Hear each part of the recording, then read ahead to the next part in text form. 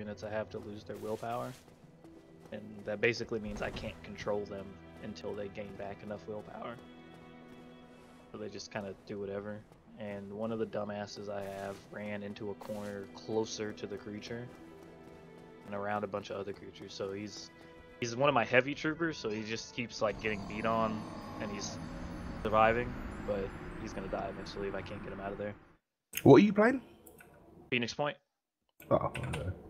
I don't know So, what that is. Are you played it. teetering Uh, on the point? Similar to XCOM.